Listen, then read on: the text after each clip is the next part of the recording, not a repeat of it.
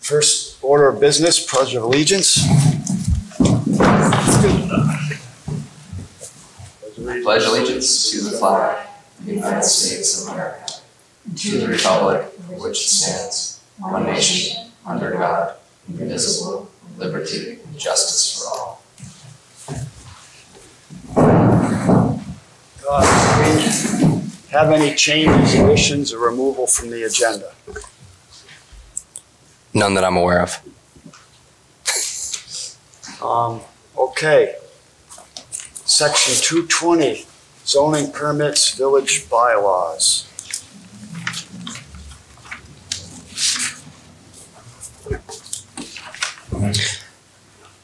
Miss Carter, yes, please.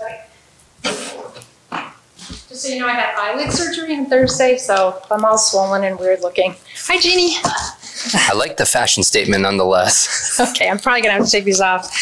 Um, okay, so I, I know you were concerned about what we added to 220 at the end about having to get a permit for any kind of interior. And you asked us to go back and rework that. So I went back to the planning commission and we were, we reworked it so it would have a 10K threshold. That if you're gonna spend more than 10K, you're gonna have to get um, a permit. But other than that, you're okay. I know we went back and forth because, you know, Ryan is pretty informed about how this works and he figures people will say they're not spending 10K, but then in the end, they'll end up spending 10K and not go get a permit. But we just wanted something on the books to guide it in some ways. So I sent that to Patrick, I mean, to Chris Callahan, our zoning lawyer, with Brendan's permission, because I know it costs money to send things to him. Um, and he and I had a long conver- telephone conversation about it. He's used to Chittenden County where they have building inspectors, and he goes, "Oh, what you need is a building permit, not a zoning permit. They should get a building permit." And you know, it's like we don't have a building inspector, we don't have a building permit. So then he had to rethink the whole thing, and he at first he thought the 10K was not legal, but then he went back and said that it was. But he sent this language um, instead, which he recommends, but I'll see what you guys want to do. So his language he wanted us, that he suggested we use is a permit shall be required for any of the following interior alterations, increase in habitable living space, including but not limited to attic, bedroom, basement, garage, and winterizing or otherwise enclosing a porch. Number two, installation of an additional kitchen. Number three, a change in use. Number four, home occupation. Number five, an increase or decrease in the number of bedrooms or units. And number six, any interior construction costing or valued at 10 grand or more.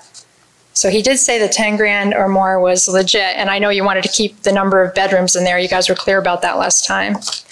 So what we had written, the planning commission, what we were going to bring to you is a permit shall be required for any interior structural alterations that change the number of bedrooms or has a total cost exceeding 10 grand. So those are the two suggestions we have for, you know, for our homework assignment that you wanted us to go back and reword it. So I guess I'd just like to know your preference and whatever you decide, I'll change it in the official document. I have a question, Terry. Yeah, When you add a kitchen, doesn't that make possible an additional living unit? Yeah, lockout, which I think is why he wants to include Right, that. Okay, that's what Yeah. I was thinking. Thank you. Um, Did you have something, Justin? I, I think it's great. I appreciate Mr. Callahan's input. Um, the one thing I was questioning is increase in habitable living space, including but not limited to. Um, I like the language including but not limited to. We hit most of the things. What happens if somebody wants to turn a closet into a bathroom?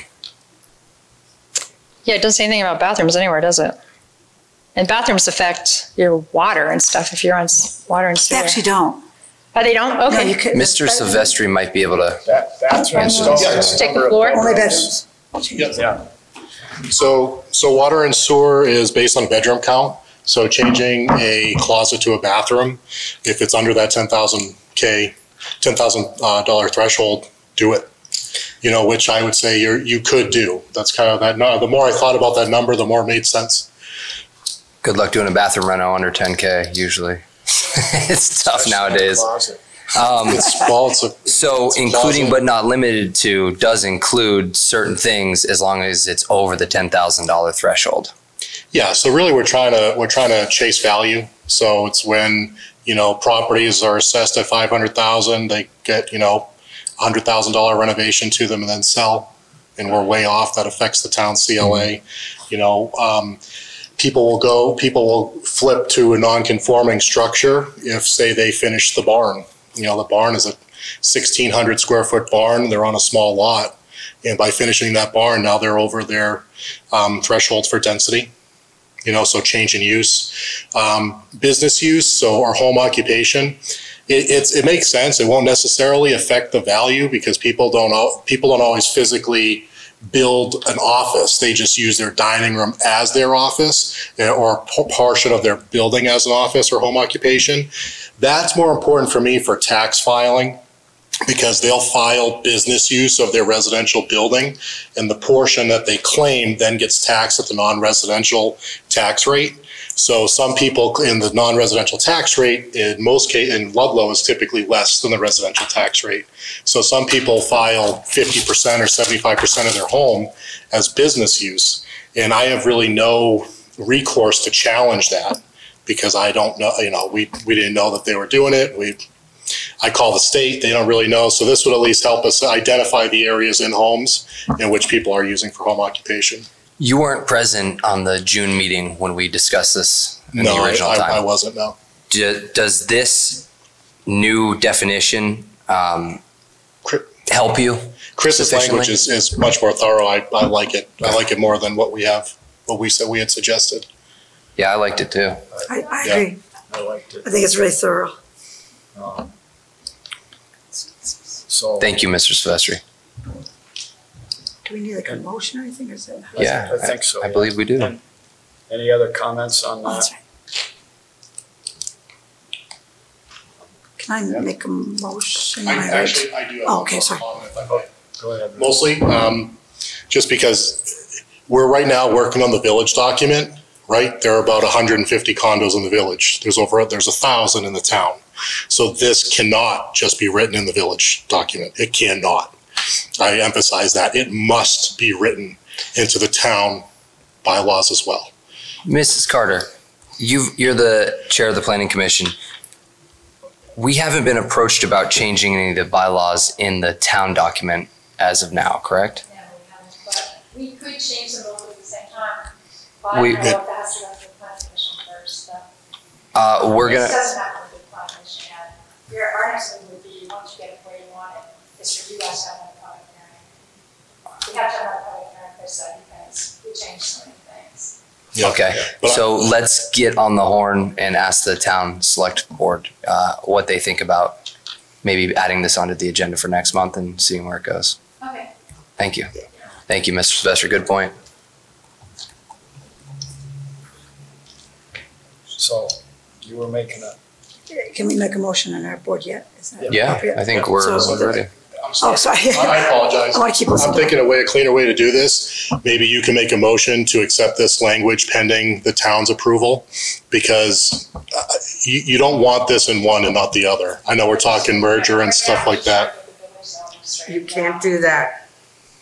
Because it can't? hasn't been warned at the town level. It hasn't? at all. Yeah, Well, I, I'll just, so again, I, I'm not, you know, the, the actual nuts and bolts of this, but I, I am emphasizing like emphatically, this must be done in the town. It's more important in the town than the village. So I know we're at a village trustee meeting, but I don't know if, I don't know if you want to pass it now or wait until the, ta- the town, maybe a joint meeting, I but kind of like to make a motion. Think about the nuts and- think about the they nuts and to bolts of act it. on it I'd like to at, make at a- the village level now. Sure. I'd like to make a motion to to just move it on. Yes. I mean, we'll set a precedent Yeah. uh, Mr. Silvestri, you have Hours. my word as another member of the select board that I will uh, keep on this and make sure that it's mentioned and we're aware of it. So my motion would be that we accept the changes per the proposed language from Chris Callahan for section 2220. I second that motion. okay, any more discussion? All in favor? Aye. Aye.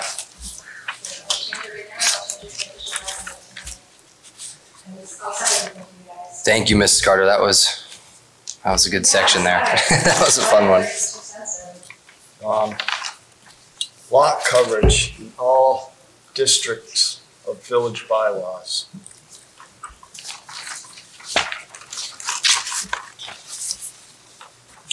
Do you want me to give a summary of what happened with that so far? Yes, please.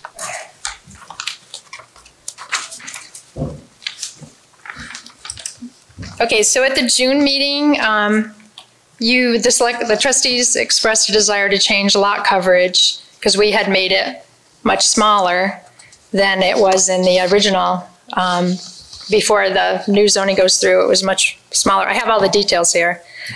And then Martha sent me an email from regional that reminding me that do they understand the new definition of lot coverage? Because we changed the definition of lot coverage to include everything, like all driveways, sheds, everything, and the house itself. And I said, yeah, I don't think I was clear about that, so I sent that language to all of you guys.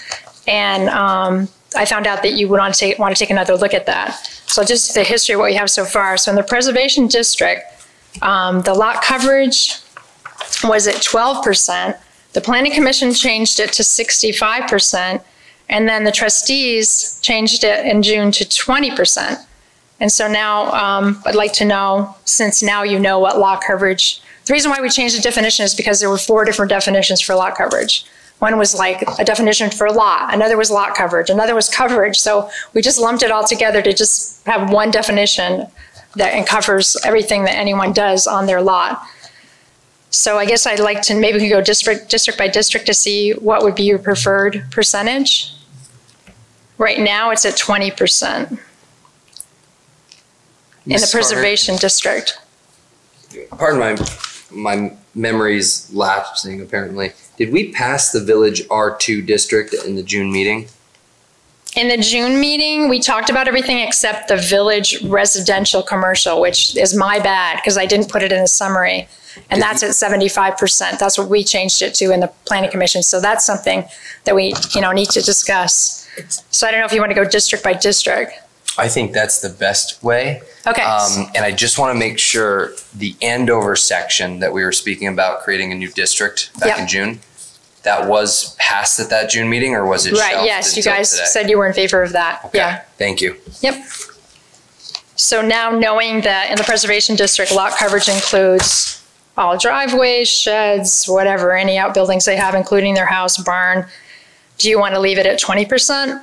Well, now it's a little, Uh, yeah, go ahead, Miss. I've, I've been struggling with this. Um, I, I think we should have green space, but it's including driveways, patios, uh, Sheds. sheds, um, and, and if you counted those in at twenty percent, um, that would be a pretty, pretty small house. Um, and I'm, I've been trying to come up with some way to, to make a visual because just, just looking at the numbers is, is not working that well. Yeah, and Bob, I know you asked me to come, asked me to come up with a visual, and I did research online, and a lot coverage online is about warehouses and big boxes and stuff, and I couldn't find anything, but I did email um, Jason at Regional and Martha and Allison, and they sent a picture of the home style hostel, which I sent to all you guys, showing how much of the home style hotel, I mean, how much of it is covered. And I did forward that to all you guys through email to get an idea of lot coverage, because you pretty much got the whole lot covered there as you need to. Yeah, and that, that's, uh, not really residential, but. So here's my question. Hmm. What towns, if any, are disagreeing with the state over these changes? I don't, I don't, I don't know. I know Rose and Chris Callahan in the beginning wanted us to disagree with it. And Chris was really interpreting the language as a lawyer. And I, at one of our meetings, I brought up that idea and at first we were all for it and then regional like got so angry with us. They said we weren't acting in good faith. We understand what the state means. We're not, you know, we're not doing it correctly. They got How really angry with us. regional, What? how often has regional visited here? Well, Jason. Jason comes a lot, and he's Yeah. the, and he's the head. Like he's helping us right now with flood management and stuff. Because he they has, come by and looked at the lot coverage percentages and well, they're the ones that that? wanted, they're the ones that encouraged us to increase it because our grant was about in creating, creating housing. So that's why they wanted us to increase lot coverage. I guess what I'm getting at is I don't want to be rushed into some state regs Yeah. built by a regional planning commission that may be based in Windsor, that's not Right, based in but the state regs don't say anything about lot coverage. They don't say anything about that. That was something Martha encouraged us to look at. It- That wasn't changed. Density was changed, but not lot coverage in those state regs. Hmm. So it can be anything you want it to be until they change it. And then we get into, you guys wanted to do a uniform blanket lot coverage definition, which does make sense, but then it blankets sheds and impervious materials and it encompasses a lot of things. Non-permeable surfaces. Yes. Yeah, which is what, what was not clear at our public hearing with you guys. I'm sorry. I'm- Uh, you, you were clear about that with us. Yeah. I, I remember that I I discussion. understood that. um, And that, that's why I was wondering about the twenty percent we came up, because that's gonna be a pretty small house. Right. If you have a twenty by forty foot driveway into a garage, um, that, that In the it's preservation not gonna district, leave much. Bob, does that affect a lot? Is, is there anything that's not built except for that He's one the one lot in the charged. preservation district? I don't know. Bob, can Ryan speak? Yes, go ahead. Go ahead, Ryan. So, I, so at twenty percent, that puts most all these, all the parcels existing non-conforming. So you're gonna be creating any vacant land that's left, you're gonna be creating non-conforming lots. Um, it's also, the whole point of this grant is to increase opportunity, increase living units and density. So, um, I just want to remind you of the theme of this. So twenty percent going more restrictive, when the whole goal of this is the exact opposite, is to create more opportunity. I just question that. Um, you know, and it's just something where you can still maintain aesthetic, you can still maintain, you know, your green space, your setbacks from the road, stuff like that. But the percentage of lot coverage is very important because we can say we're encouraging this new construction, we're encouraging this unit, this unit, um, creation. But then if you put the lot coverage back down to twenty, it contradicts everything else that you're looking to change. So I just wanted you to keep that in mind. I have a question. Is there, Our plan, it wasn't, it's at twelve currently. So you had twenty or more, it would increase it from where. I just had a, I had a question just for Ryan. That's correct. Thank you. I just, just from living here and everything, when they wanted to increase the housing, was it for second homeowners? Because it seems like there's, we're not creating any more affordable housing by that change, by making more. It doesn't seem like we're getting, I see people converting their garages into Airbnbs. Sure? Is the point that the, the state was So- trying to make to make it more affordable housing? So the point, the point of all this is to allow, de- is to allow developers to come in or make developers want to come in and create volume of housing. So apartment buildings, no one wants to hear it's, you know, I understand, it's very different from what Vermont is used to. But that's what will solve a lot of our problems. All of our problems go back to housing. There's not enough of it. So when you start in, you know, encouraging or becoming less restrictive so that you can build these lar- these large, you know, volume unit, you know, you know, buildings, that's what's going to solve, that's what we're trying to allow in some, in some regard. At least that's in my opinion. That, and that's what I think, that's definitely where the state's coming from.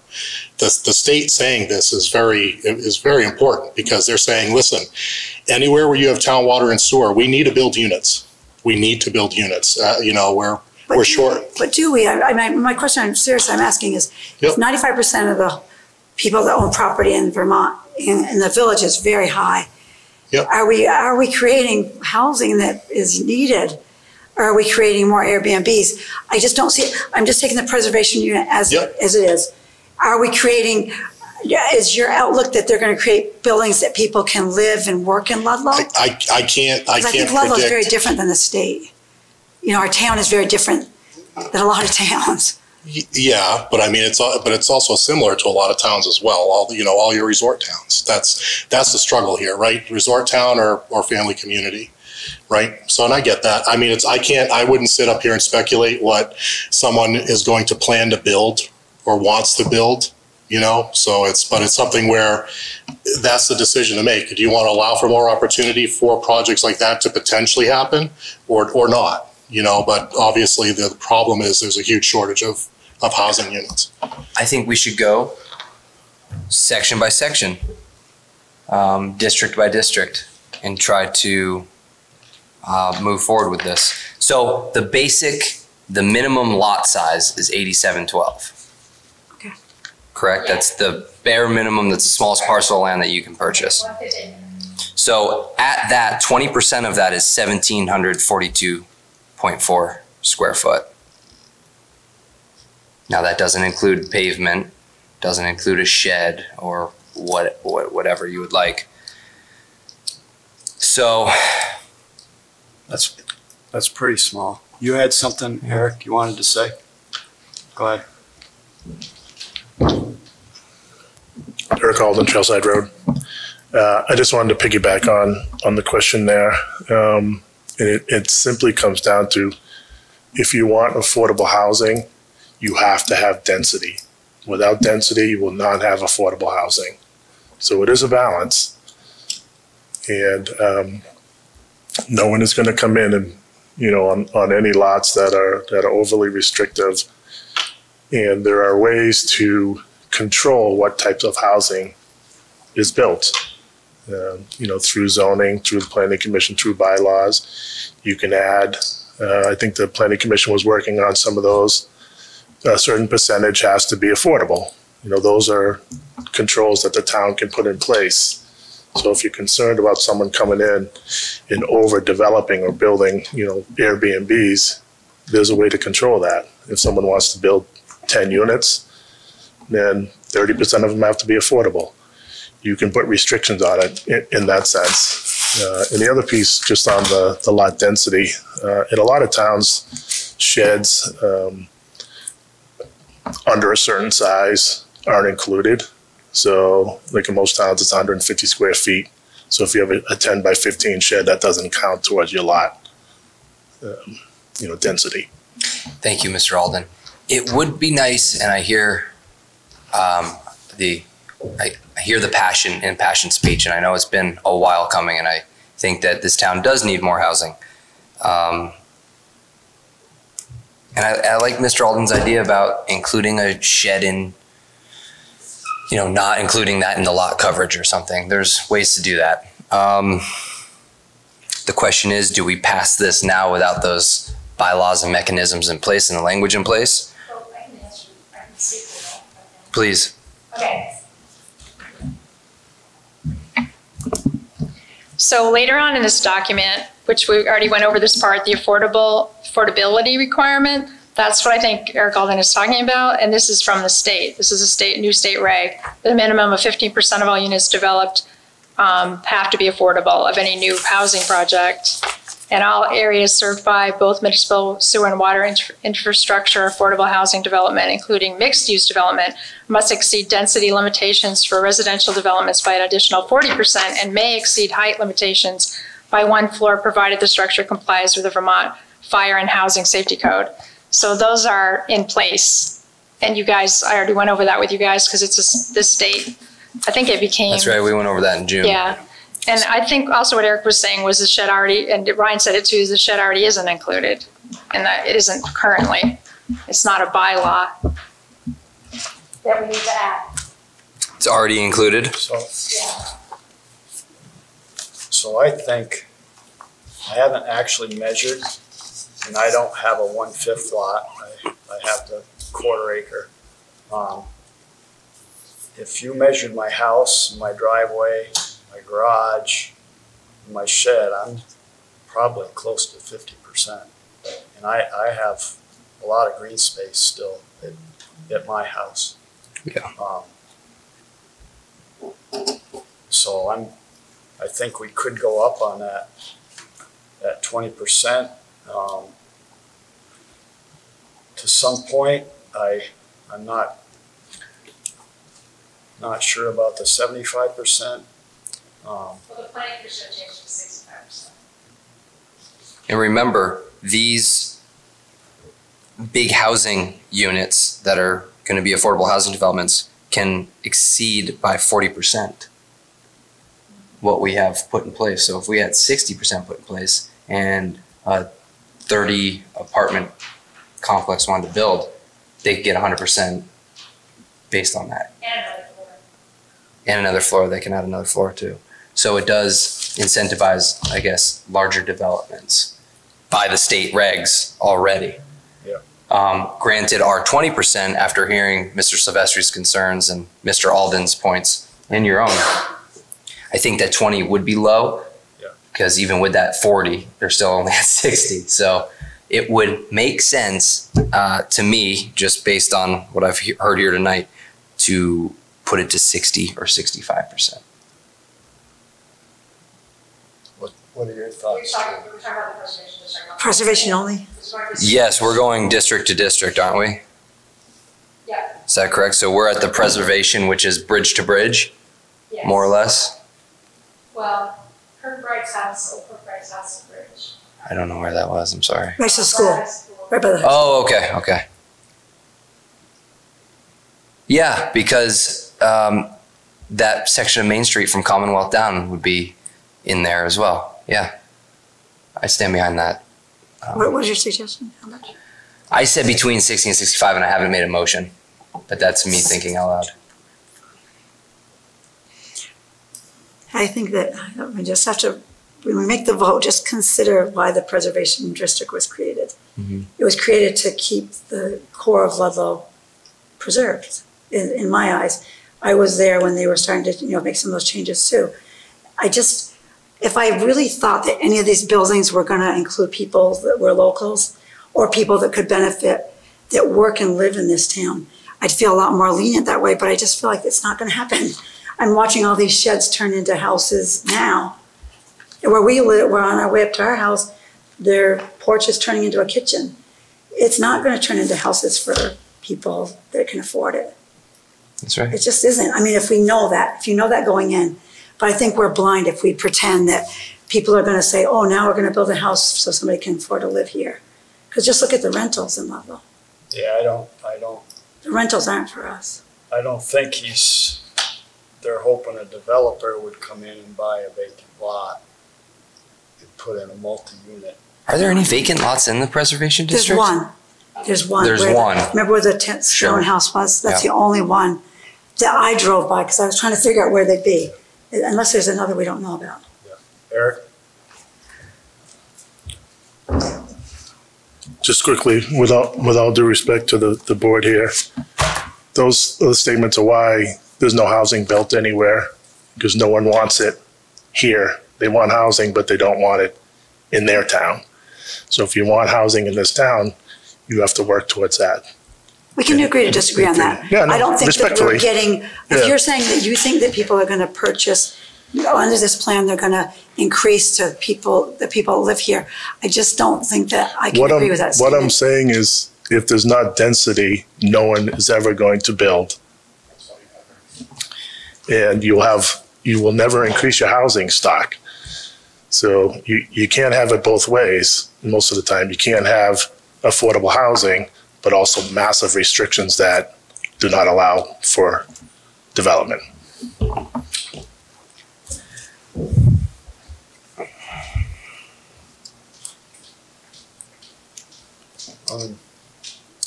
So it seems like the state has written in a lot of these laws and kind of circumvented um, the municipalities. So we're working within the parameters of what's set forth from the This state. applicant feels like they were written for Chittenden County, not Virginia. um.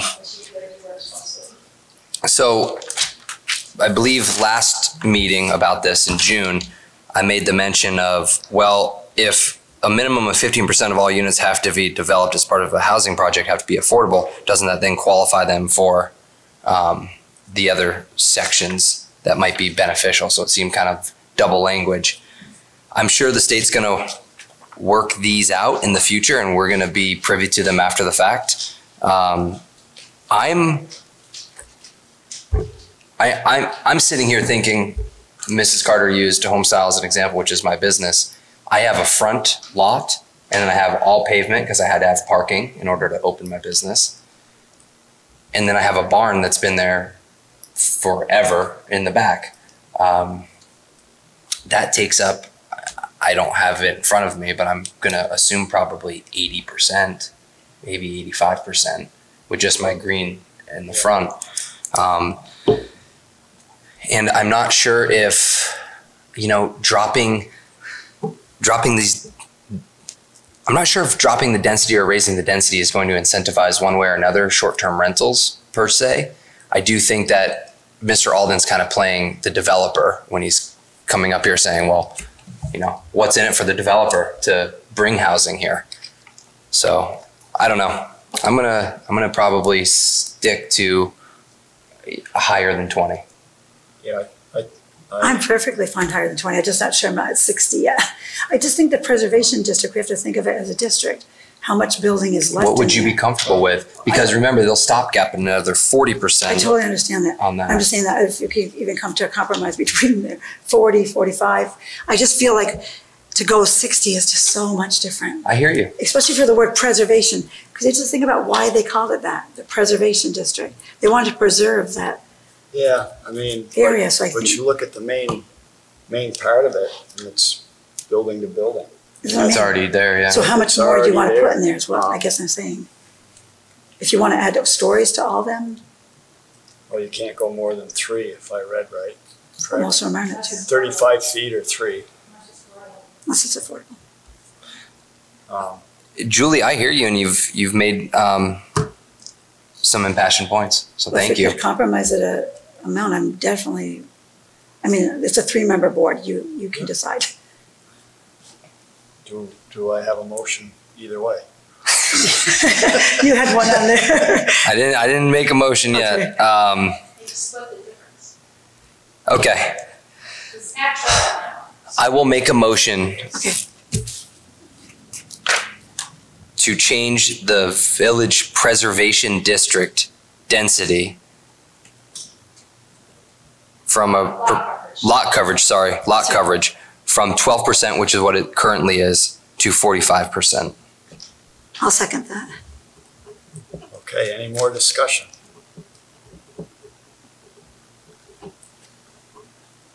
Um, That makes it eligible for up to 85% on the lot if they meet their affordable housing and maximize that additional return.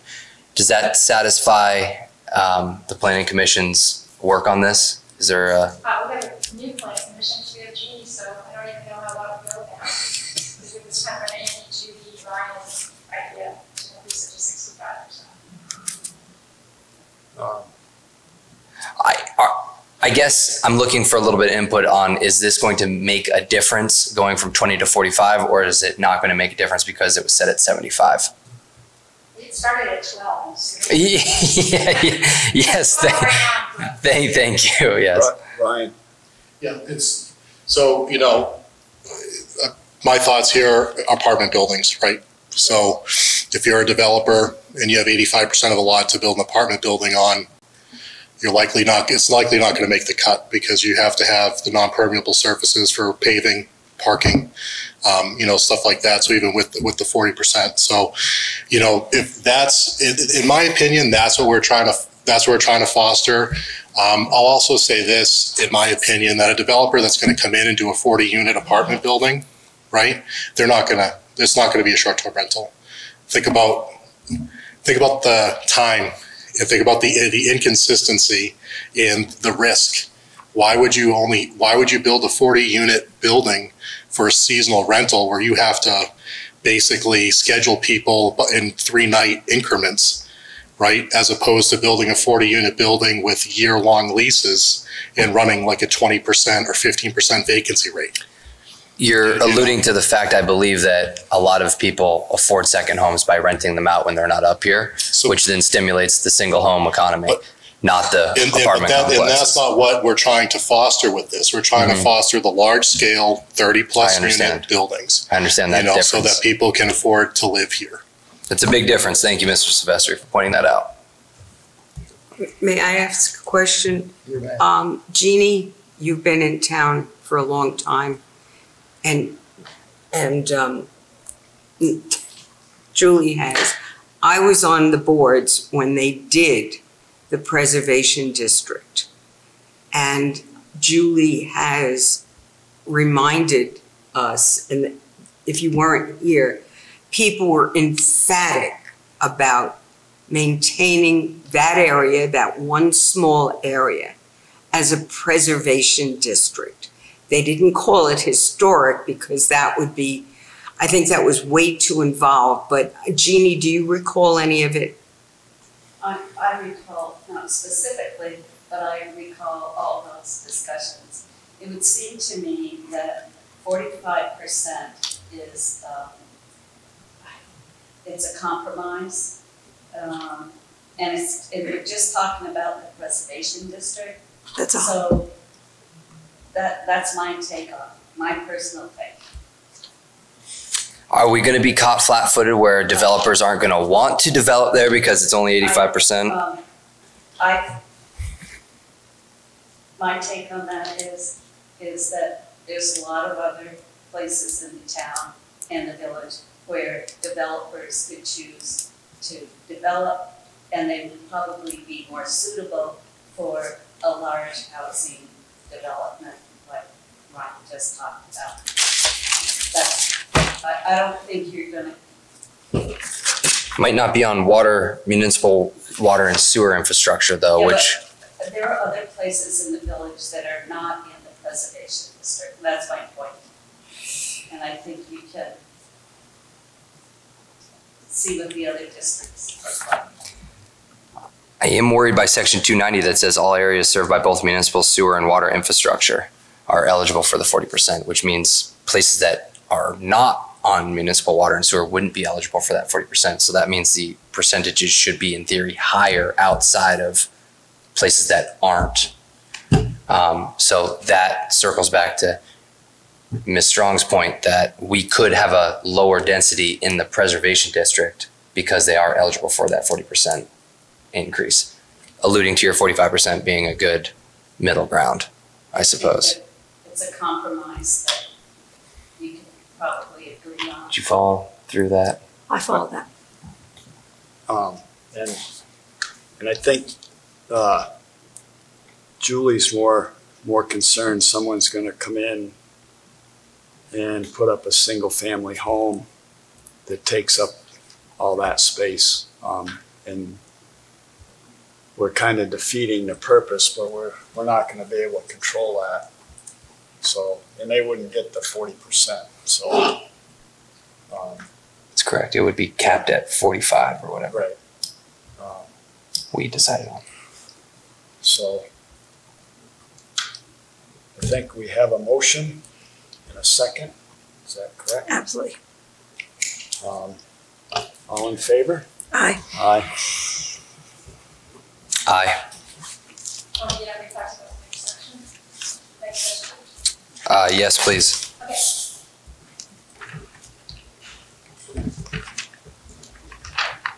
Okay, next district would be vil- village residential. It was currently at thirty percent non-residential, like offices and stuff, and fifty percent residential. The planning commission changed it to seventy-five percent on both. And then the trustees in June changed it back to fifty percent residential, thirty percent non-residential. Village residential's served by municipal water and sewer as well.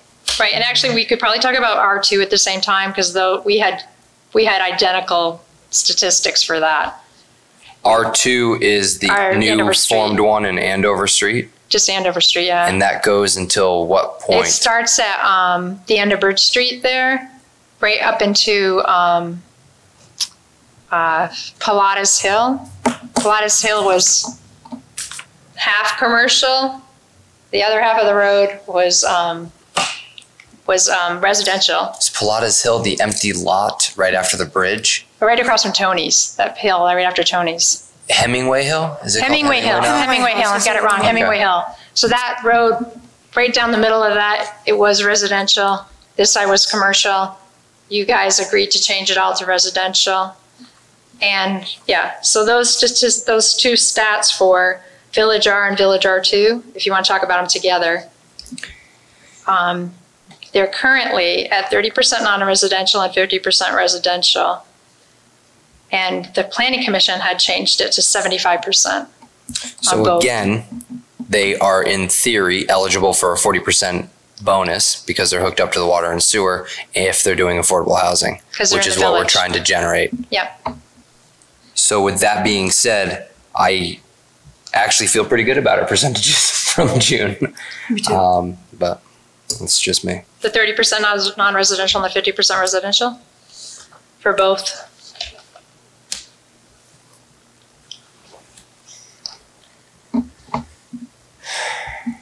So that would only give you seventy percent. Ninety percent would be, Well, there's not going to be very much uh, non-residential. it's all, it's all, it's all in the residential. R2. Right. There's no, no more commercial on R two? R two. Except for existing. It was the only thing that was commercial, so that they could do something with it and not just be grandfathered. It was something that Dave Rose said he would only agree to it if we left Tony's garage in there.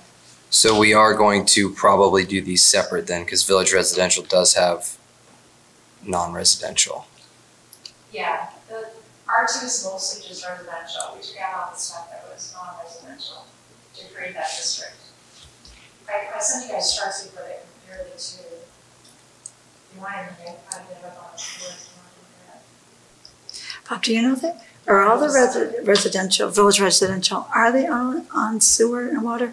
Because I think there's a couple, there's like the one on the top of Doug Road, I don't think is on the town water. It's on, it's on water. Yeah, they hooked it dug up. across the- They are, I saw the, the fire hydrant, but, which I watched them before. I- I'm just curious if they all are, because I heard some of them in the village weren't on sewer and water. I There was some that were Don't gonna. think they connected to the sewer. I think Brian's spoken to this before, that they all can get on it, but all, can. not all have chosen to. That's what it is. They're on, they aren't on the sewer. Right. They're on, that's, that's what I know. I just wanted to clarify that. Mrs. Carter, what's your recommendation as it stands now based on our discussions from section 420 and 425 for the village residential percentages? I think my recommendation would be to put it at fifty percent of both. I don't understand why non-residential is lower than residential.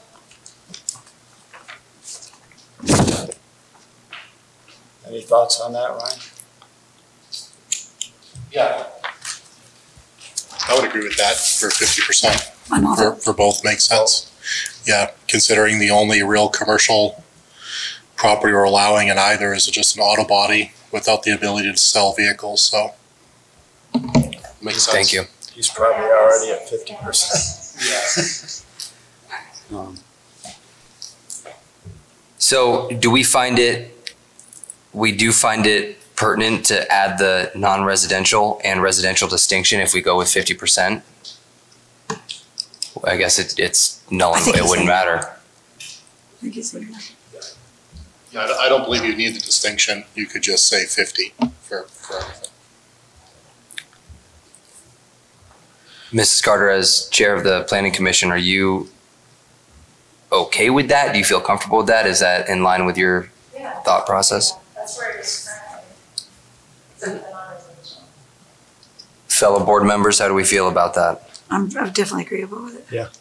Okay, I'm gonna make a motion.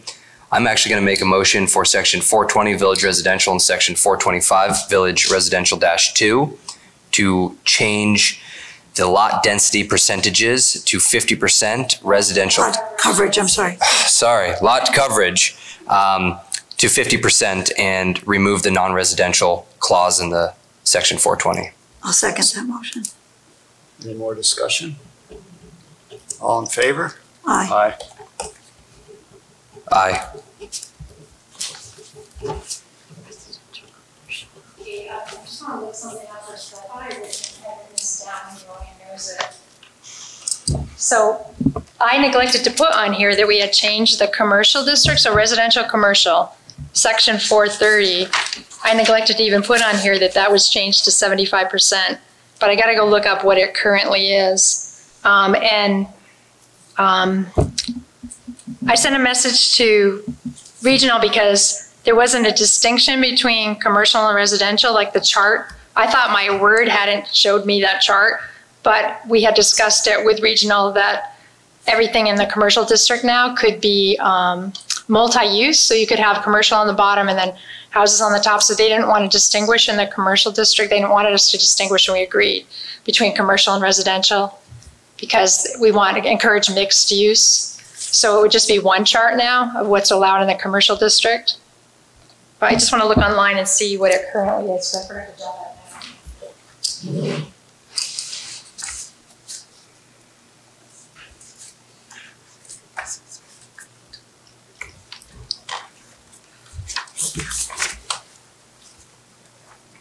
do you know what it currently is? I, I do not.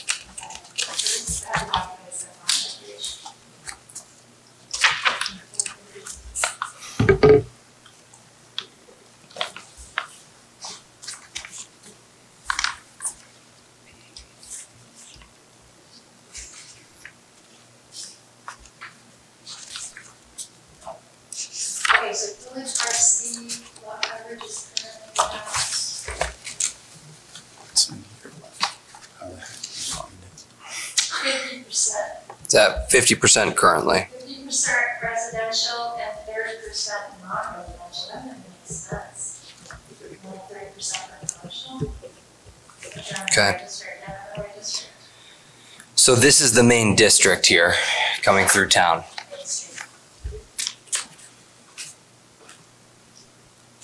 I don't believe there's any houses left on Main Street except for one that's maybe for sale. Mr. Silvestri. I just add, so if you look down Main Street in the RC district, I think you're gonna find the majority of lots are already above the fifty and even the proposed seventy-five percent lot coverage. Thank you. Do you- Is there, I have a question. I think Prospect Street, and there's another st- part of Smith Street, or one side of it, is also in the village residential commercial. Yes, that's correct. It goes I up do to know that Smith because Street. Prospect Street, when they came in, there mm-hmm. was an issue because people were concerned on amount of traffic that could go on that street. Is it the whole street, Ryan, that's on the On, residential uh, on commercial? Smith Street, I believe, I believe it is. The other, the other area that it's split is on Pleasant Street, right at the corner of Depot. Yes. Going- Going And- down, going And down to Prospect Street, I think the entire street is residential Yeah, commercial. the side the Yeah. is back of Main Street is commercial on Pleasant Street, and the other side is residential. So there, this district most assuredly has water and wastewater hookup. Yep, if they're not hooked up, they have the ability to, without a doubt. So I think we should entertain getting rid of the non-residential versus residential percentages like we did Absolutely. in the previous. I also think that we should probably, this one should be the highest percentage, um, would be my opinion on it. Do you feel any different toward those other little streets that would be included in it or not? I'm just asking. Like on Prospect Street, I know there's three building lots out there right now. Most are already, some of those lots are, in the ones on Prospect Street, the three lots there that are for sale, that's in this district currently, or is that? It is in this district, district now. is in this, I, I, I got the map up right now. It is, so it actually is not. Yeah, It's the it's other side of the different river. So The Pros- houses? Prospect Street is not in the RC. it's in Oh, that's right. regular residential, I believe. Yes, it is. That's really good because when they, they, but they came in with Okemo, So It what was district residential is it commercial. in? It's in, uh, regular It's residential in village. Village, Village, Village R. Okay. Yep. Um, but let's walk through this for a moment, Julia, I like your train of thought. So How, if there's a lot that comes up, um, they're able to, if they put affordable housing, if it's at fifty percent, get up to ninety percent lot coverage, if we pass it at fifty. Um, And if they were to build just a house, it would be fifty percent without that extra forty. Yeah, that's very fair. Now, fifty percent is, if I'm thinking about my house, I think I'm probably a little over fifty percent of my lot, because I have a quarter acre as well. Um, Actually, no, I believe I actually have a third. I think I have a third of an acre there. Anyway, um, You're probably over fifty though. I think I'm over fifty with the driveway Yeah. and the garage. Yeah. I think it should be a little higher on this one, my, uh, myself, I believe. I'm sorry uh, to keep you waiting, um, Mrs. Carter. The Regional Planning Commission wanted this one to be at 75%. That was their recommendation. Well, from our planning commission, we're to have it seventy-five percent, Great. Um, a majority of our planning commission. 75%. What are your thoughts on 75% here? I mean, you, you, if you looked at even most of the houses on on, uh, Smith Street, they're, they're probably close to seventy-five percent right now. I would imagine so. Um, Yeah, I, in, in downtown, definitely, um, it's more than that. It's going to be more than that. um, which, which is where we want the density. Um, You want to keep it at 75? Is that what we're thinking? I, I'm fine I with it do, too. because you're not, you're not going down Prospect, which has a lot more green space, so.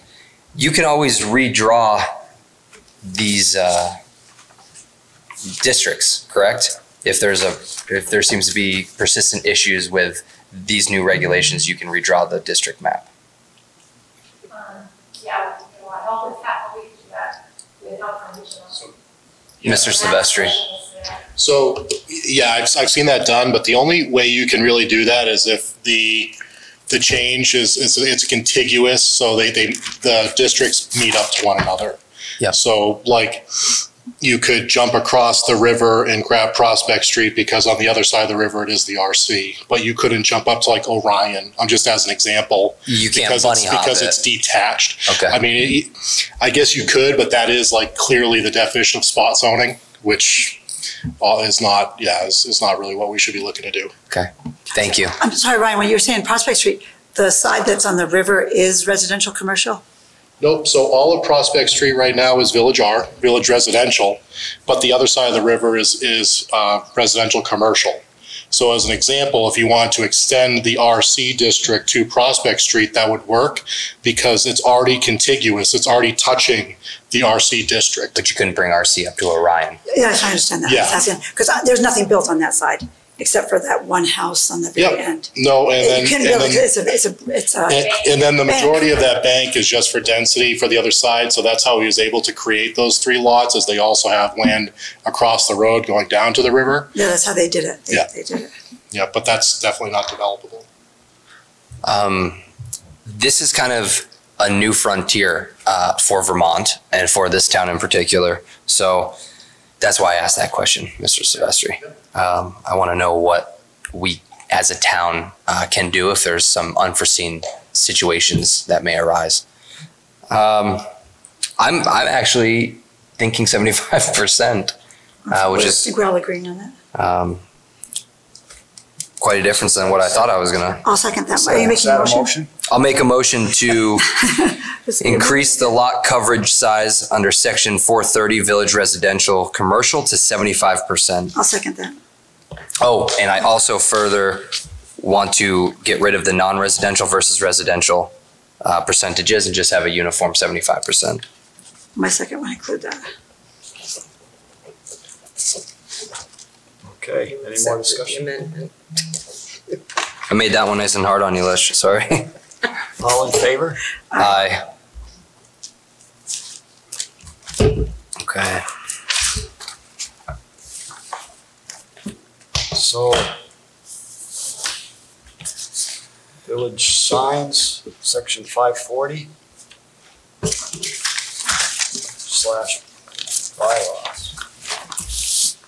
Brief, Very brief. Yes, Ms. Carter.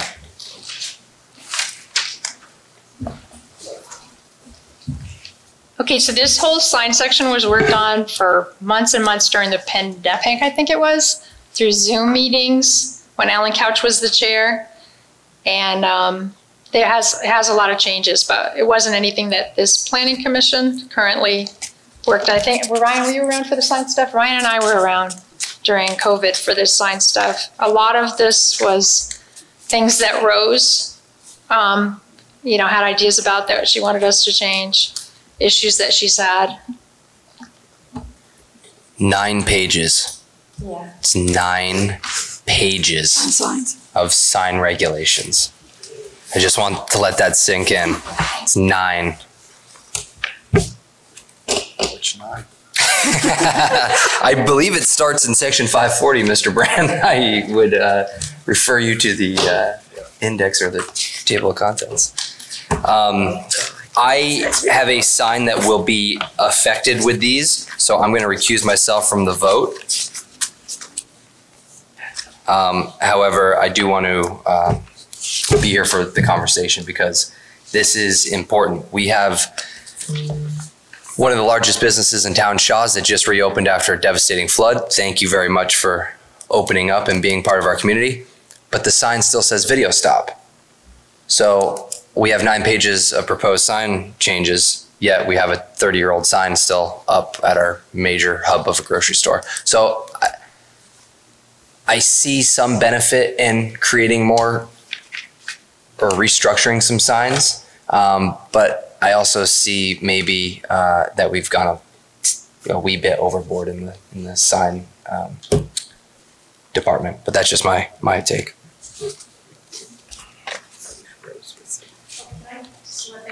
Yes.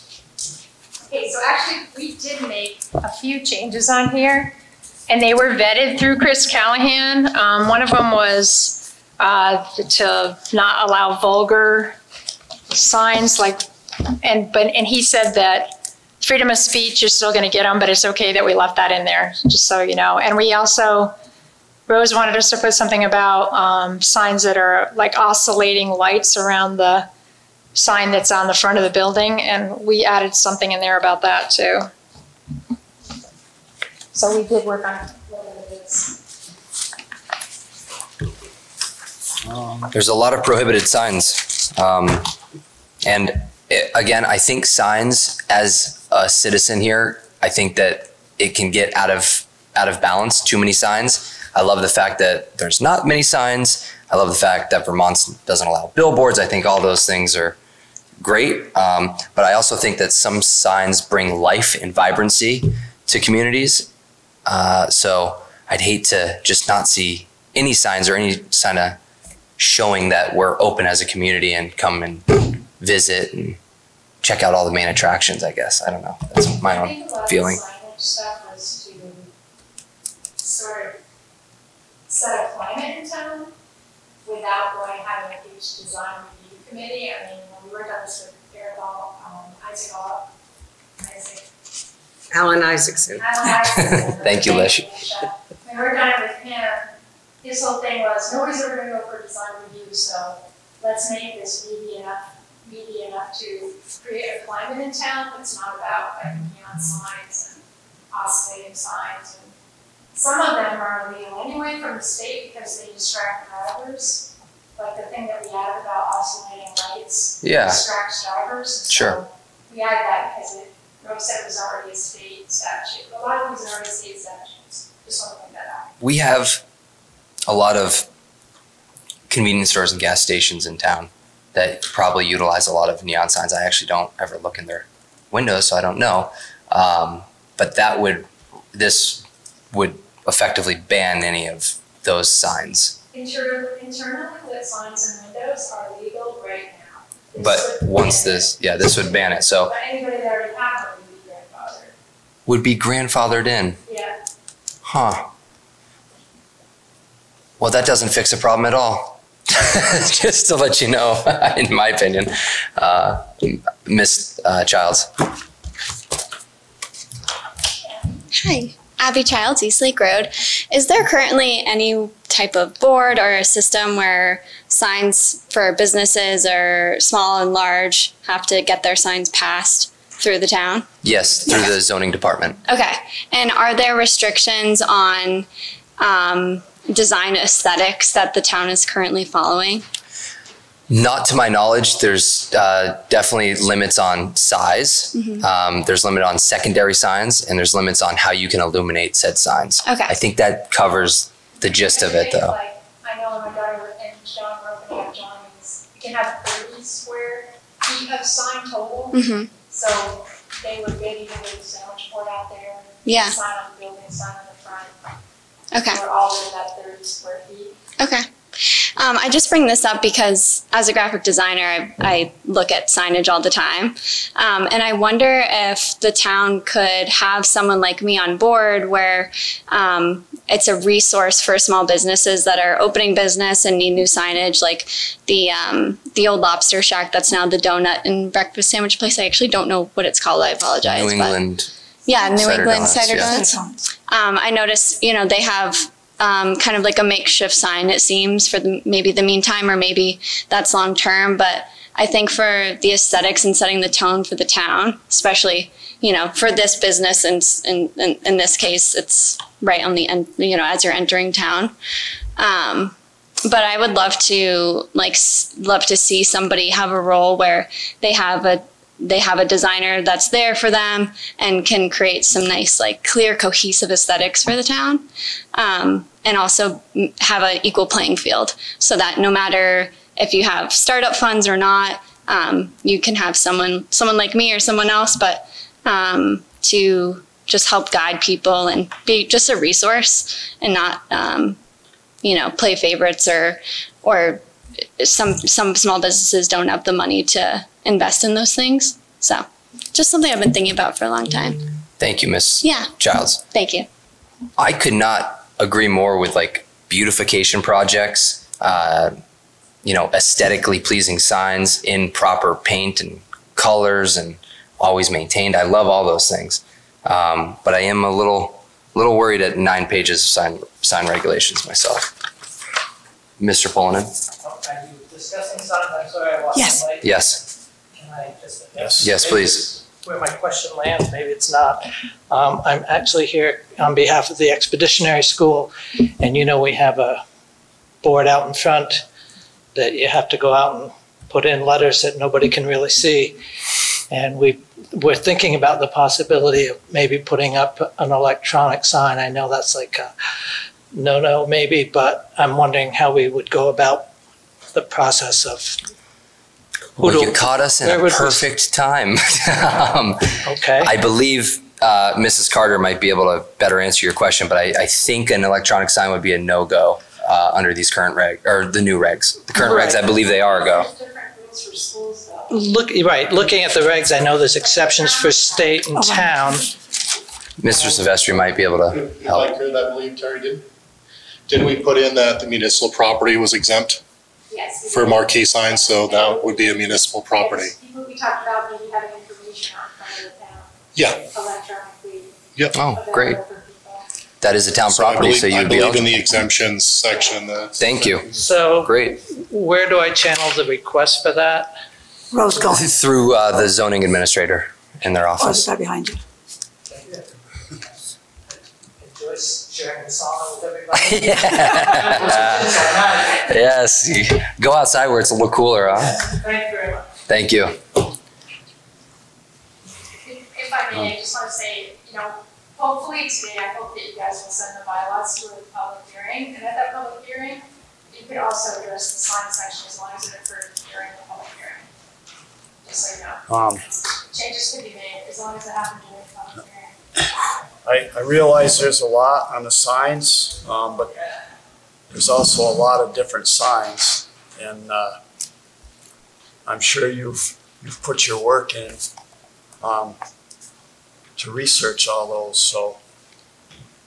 Uh, And you have permission on, as to which Yeah. ones are state laws and stuff. um, it, it, it is a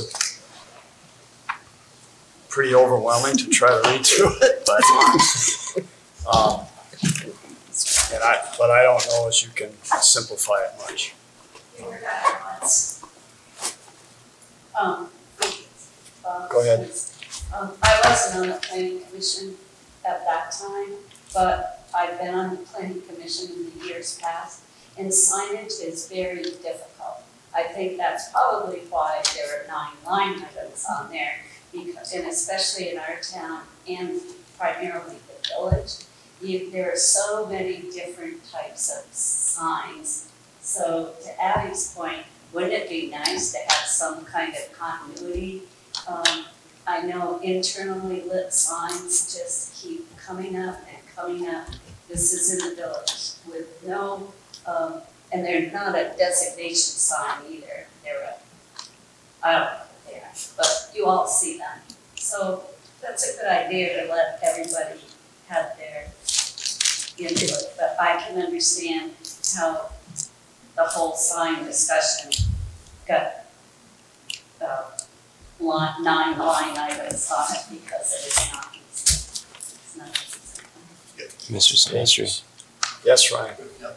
So the only other thing, we, we touched on this in the planning commission, so yeah, there's just a lot of signs, so that's why there's, there's a lot of language. Um, I've seen in other towns and other states where they have uniformity in all of their signs because the municipality provides them. Mhm. So, you know, that's kind of, you get away from design review, but obviously it's, you know, you gotta talk about cost and then obviously talking about replacing already existing signs. But, you know, you, you have your, your picturesque, you know, movie towns that all the signs are the same, that's because the town supplies all the signs, all the signs. And I, we're, if you guys move forward with this, it is also grandfathered in, remember? So it, does that mean that a place with flashing lights on Tuesday at six PM will still have those flashing lights on Wednesday at six PM? Not flashing lights, because that's a state thing, because it distracts drivers, Okay, it's a state record. thank you. You could grandfather them with a time limit. Grandfather them for five years or whatever's reasonable. Is that something the So- planning commission would do, or is that something we would do on the floor right now? Probably you guys. It would be Do that. we would have to completely Yeah. right now, and it's gonna happen. I have, um, so if you were grandfathered in with the sign you had and someone bought your business, would that, would that negate the grandfather that you'd have to follow these rules? I don't know. I think it would because it would be a new operating company. They'd have to apply for that. Probably. Ryan might have that, or zoning. He might know that answer, Ryan. So often how, how you sort of do away with the grandfathering is, is change of use, change of occupancy, uh, renovations to, at a certain extent. That triggers you bring it up to whatever the, the current Code. code is. So if I, you know, bought Podbelly Pig there and I wanted to make it into a bagel shop, you know, now I have to go by the, the current regulations, even though there's a sign there currently. Yeah. Just a point of interest, on um, Sunoco, when they came into zoning, they conformed with all the sign regulations. They took down all their signs and put the one up Yeah. to conform with the sign regulations in town. So people are respectful of that sometime. But Ryan, do you know that? Does, are they grandfathered? I don't know if he knows more. Well, that's something I guess we can, we would have time to figure out. Um, What do you think about the, uh, the sign package, Julie? I think they worked on it a long time, more than we have, you know, so I don't, I have to respect that. Is that thunder? Wow. It's supposed to be some, that's why I drove. Let's break that humidity. Um, Do I have a motion? You recused yourself. yes, I'm Are we recused. making a motion to accept the sign, or are we go- going to ask the ta- the village? We're, so we're just, uh, doing all this stuff and then it's gonna get moved along, so. I'm hoping you guys will move it to the public hearing, so we have to get that over, and then things can still change to the public hearing. So I didn't make a motion that this goes to a public hearing, is that the motion? I don't know how, I No, make- that Yes, we, you can. uh, that we accept that we accept this the, is, is written, okay, I'll make that motion, is that okay, Alicia? Alicia knows how to read it, and, uh, and they'll go to the I would public hearing. second that. Okay, So, all in favor? aye. Aye.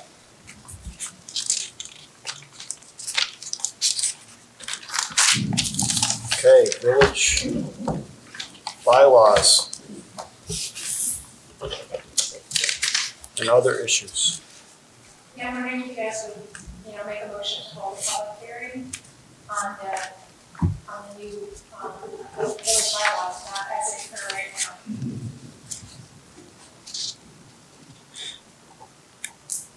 And I'm not sure I can get it in the paper before your next meeting, so kind of go open and did the one individual public hearing in July or, uh, I mean, August or September, whichever is, know, is physically possible. I mean, once you do that, I'll, I'll uh, email Shonda, Shonda, is that her name, Shante? Shante at the village and see if she can get it in within fifteen days of your next meeting. She probably on the website. Shante? Shante? At the vil- at the village, at the actual. Oh, yeah, it might be.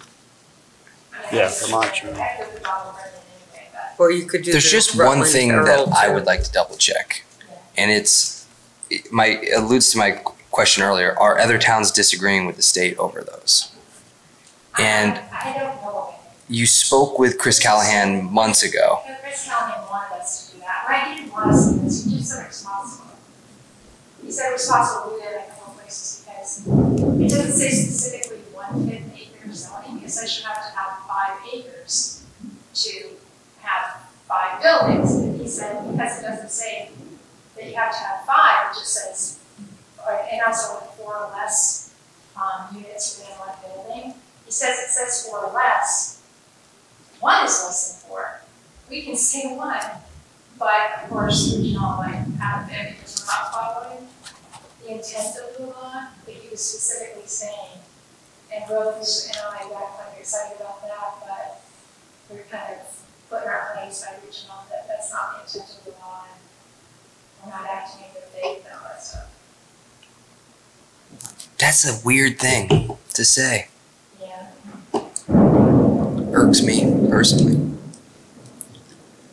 Um, but if uh, we'd like to, Mr. Silvestri, kind of throw a little context in there. So, I mean, it's, it's state statute. So you got to understand that by not following state statute, the town's breaking the law, opening it up to the audit by the Secretary of State's office.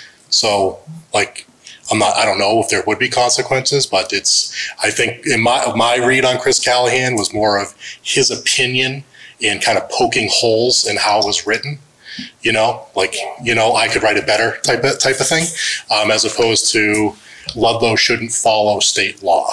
so let's, uh, You just basically, you don't want to follow it, here's, here's how you don't have to follow it. Yeah, that- That's how you again, at, at, at risk of prosecution from the state. So it's statute. And a lot of them became statute on December first of last year. I will make a motion um, to hold a public hearing for these amended village bylaws. Um, I'm not going to set a date. I'm just going to give you uh, the general motion that we'd like to move forward with this. So that's my motion. I'll second that. Any more discussion? All in favor? Aye. And then you just have one more question for you guys, it's not on the agenda, I wish I thought of it. But, um, Brendan, he came to Welcome to like, his, well, somebody's on it anyway, right? Um, Brendan came to us and te- wanted us to take a look at the junkyard ordinance, and we don't write ordinances, you guys do. and it's Which like- ordinance? The junkyard, ordinance. junkyard. Because he's had some complaints and stuff. And he just wanted us to take a look at it and start the conversation, so we did, Brian did some research, I did some research. And so what we want to come to you guys and ask you is, do you, we're not, if we- the ordinance needs to be rewritten, we don't do that. This ordinance is not our, um, in our wheelhouse. But if you wanted us to write a bylaw, then we would do that, and we would spend time doing that. So before we spend time doing that, we wanna know if that's something you want us to do. Montpelier, the only time I can find Vermont that has a bylaw about junkyards is Montpelier. So a bylaw a bylaw, you know, would be reinforced by and Rose. An ordinance is reinforced by the town manager, and you can invoke the police to, um, to, you know, to enforce the ordinance. So before we sit down and write a by- bylaw, we want to know if that's what we want us to do. That we want us to let it support things to have the select board of trustees to it up. Personally, I believe that's an ordinance issue, not a bylaw issue. At which point, we would follow the proper channels to get that ordinance drafted. Usually the lawyer would be involved in drafting that ordinance, Mr. Callahan. Um, that would be, I don't know, actually. I don't know, because he's a zoning lawyer. That would be my recommendation is to do a junkyard ordinance, not a bylaw. Thank you. What do you think? I think that's a really wise decision. Yeah. Talk to the zoning. Yeah. So, so I guess we will work on an ordinance for that, Okay, okay? And, uh, keep up, take it off our agendas. keep up your, your work on this. Um, Thank you. We don't have a word on this, now it's very. This, so. Last one, I, I call that other business. Yeah, I don't have any other business.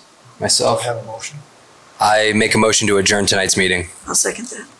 All in favor? Aye.